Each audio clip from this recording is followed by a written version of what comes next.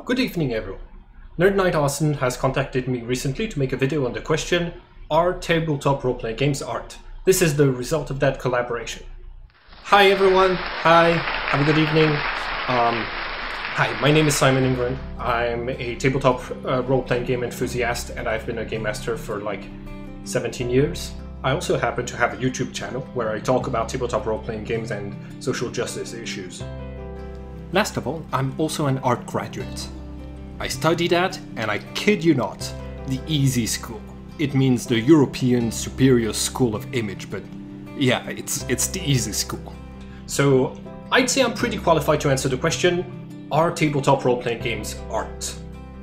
Google defines art as the expression or application of human creative skill and imagination, producing works to be appreciated primarily for their beauty or emotional power.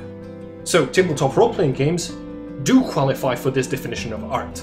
When they're played, they are an application of human imagination, and people are able to feel their characters' emotions by proxy. So, we can say that tabletop role playing games are appreciated for their emotional power.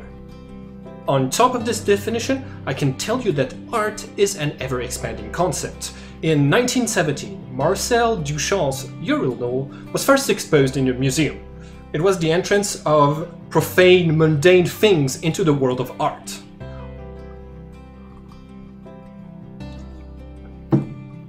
Artists have, ever since that moment, pushed the definition of art to its maximum. Every new piece kind of has the aim to expand the question of the answer to the question, what is art? So you're gonna have more performance and stranger things. For example, Wim Delvoye made Cloaca, this piece of art is a phenomenal work of engineering, biology, chemistry that turns food into feces. What? I said, this piece of art is a phenomenal work of engineering, biology, chemistry that turns food into feces. Could you say that last part louder and slower? It turns food into feces. It's a poop machine. Yes, this thing exists. I can explain everything. Guide made a poop machine, called it art, and sold it for a frightening amount of money. The art market is a money laundering scheme. White men artists sell for crazy prices by having their rich, white, illegal money friend buy it, and then the friend can resell it later to get clean money. With some tax payoffs, of course. Modern art in museums makes no sense on purpose so that you don't get too curious and find out about the money laundering. I'll tell you about it another time. If we followed the current definition that the art world uses for what is art and what isn't, technically anything can be art and anyone can be an artist. But tabletop role playing games are a game. Doesn't that disqualify them from being art? This is pretty close to the debate of video games as art. There are a ton of examples of artsy video games that have been like mind blowingly beautiful for the past few years. And a lot of passion goes into developing those games. And also a lot of art artwork goes into production of, of games, and so it the end result incorporating that art is art, arguably. So video games match the precise definition we have of art. Ah. The emotional power that is described in the definition can be as simple as joy from killing in modern warfare. Yes, that means video games are art, even modern warfare. I feel so much rage every time I play League of Legends. So why do you play? Similarly, tabletop role-playing games have a ton of art that is put into them. You've got the illustrations, you've got the writing, the game theory, the acting. Ah, we can also see a lot of examples of tabletop role-playing games that include things like costuming and makeup, crafting props, figurine painting. Like, this is art. All of the passion that went into creating this duck figurine monstrosity made it art. This is art.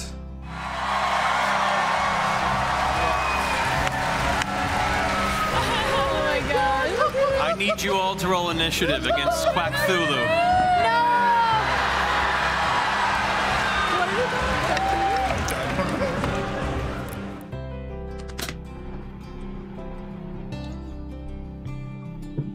I can also say that you know, calligraphy sometimes goes into tabletop role playing games.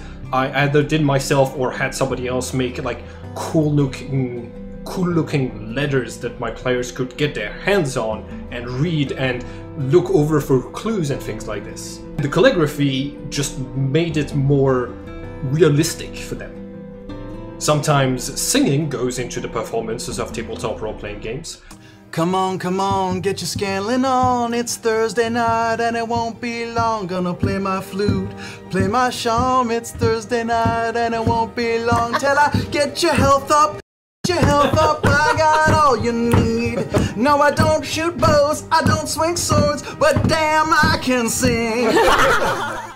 sometimes even dancing. Back when I lived in France, I played in a D&D 4th edition game, and the game master, at some point we were at a ball, and we had to look as normal as possible. And so one of the when one of the NPCs asked me for a dance, the the game master just like stood up and got me to like dance along. Um, and and it was like this really curious experience because it was awkward for me, but it was awkward for my character too. Um, because I, I, I wasn't expecting to have to do this, and neither was my character. But it it helped, and I feel like that dance is part of the tabletop experience that I had that night. We also sometimes mix in culinary arts, like cooking. You know, not just when you go to a friend's house and they made something nice for D and D night, but there's other stuff. So, for example, when I did a Game of Thrones type game with like a lot of politics, at some point I, uh, at some point one of the NPCs invited all of the players for a meal, um, a public meal where there was going to be like some assassins, and there was going to be an there was going to be an assassination attempt. One of the characters, uh, one of the player characters was going to be in danger of dying by poison. Um, and so what I did is that I spent two days cooking this big meal for all of my friends. I got, uh, I went to a place that had this nice ancient-looking table and this candelabra, um, and I got two of my friends to play the NPCs, and I feel like the cooking that I that I did while thinking of like what the story was gonna be like I, feel like that was part of the experience, and they're when they were eating the food while you know they, they came in they came in hungry, and they were eating the food while they were role playing with my friends who had just like a little idea of what was going on, but who improved so majestically. Sometimes poetry ends up in tabletop role playing games. Like, I know I use poetry all the time when I write prophecies, and I like including spoilers in my story, so I do prophecies like a lot.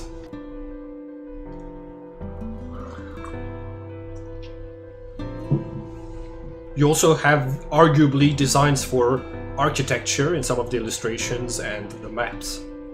And if you wanted to say like this is the like all of the arts that are that can be included in tabletop role-playing games, you could add filmmaking because Critical Role has been making videos out of the process of playing the game. You could add photography because some games use photography instead of illustrations.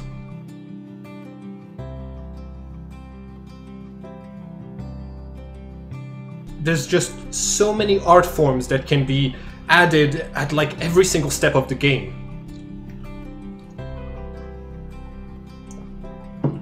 But if all of the things that are art that are included in tabletop role playing games are what add up to make role playing games art, well, could you take art out of tabletop role playing games and have it not be art? The answer is no. Even the most basic one page games have storytelling and acting woven into them. And those are both performative arts that will go into the process of playing those games.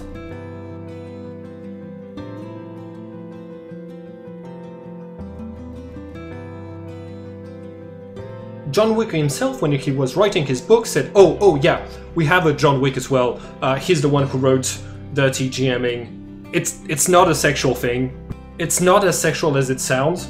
It's just about being like, it's just about looking like an asshole game master to make your players feel like af- afraid. That's what that's what Dirty GMing meant."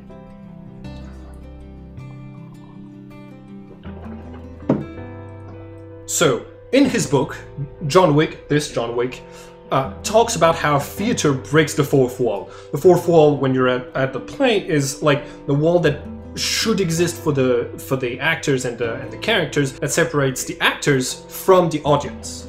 When you break the fourth wall, um, when you address the crowd or you you make a, a comment or a joke that only the crowd can understand, not the characters in the fiction, you're breaking the fourth wall. In that moment, the audience becomes part of the event. That is what happens as a consequence of the fourth wall being broken.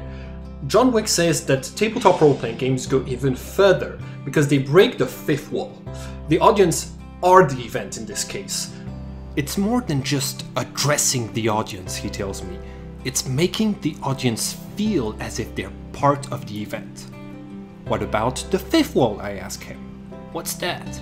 I smile making them feel that they are the event. This is an argument that came before the popularity of Critical Role, where the players are professional actors, and so arguably the audience isn't them, but the millions of people who are watching. But even then, the process of acting involves, you know, being the audience to the other person that you're acting against. So even those actors are the audience to their own work of art. John Wick proposes the idea that tabletop role playing games blur the line between artist, art, and audience. When I play, when I play, I'm the storyteller, but I'm also the audience of my players. And together and together we are the performance. We are the art piece. And so because it combines all of those things together and puts the player in a state where their imagination is being called upon, Tabletop role-playing games are the most immersive art form that I have ever encountered.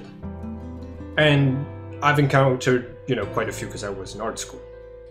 This subject can be extended to one more distinction, the difference between high art and crafts. Historically, the line has been clear to determine what is a craft and what is high art. That line is the number of white men who are involved with the activity. If there's a lot, it's high art. To perform crafting is to gender female. The exceptions to this gendering that a man who practices woodcraft or who hones his writing craft is a manly man of the Ron Swanson or Ernest Hemingway variety, respectively, tend to only reinforce rather than subvert the general sense that in US culture, crafting is a thing lonely single ladies or lonely bored housewives or lonely empty nested moms do. And it certainly isn't art. Crafts are moderately useful at best and useless, frivolous junk at worst. Although some deny its continued existence, there remains a hierarchy in the art world craft processes rank lower than disciplines such as video or sculpture. This extends even further. Among crafts, textiles are one of the least well regarded. This highlights issues of gender and value. Textiles are feminine, often made by women, and part of the domestic sphere.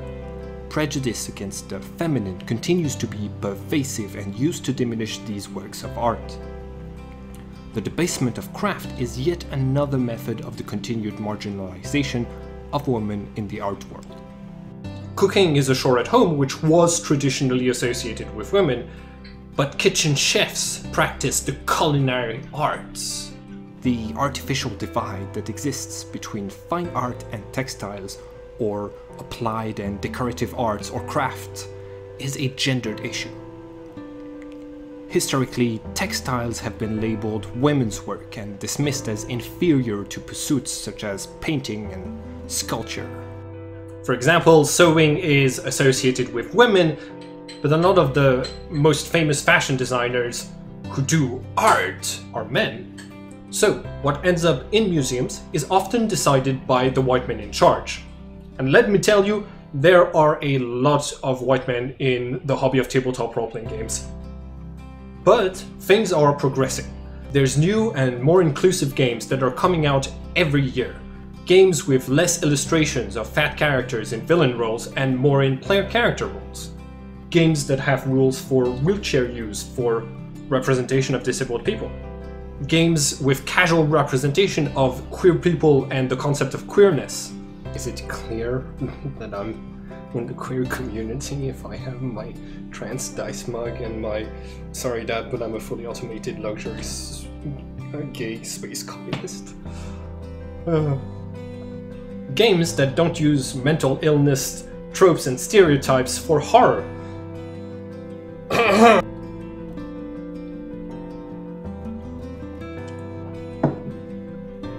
Games that don't have fascist imagery associated with the good guys.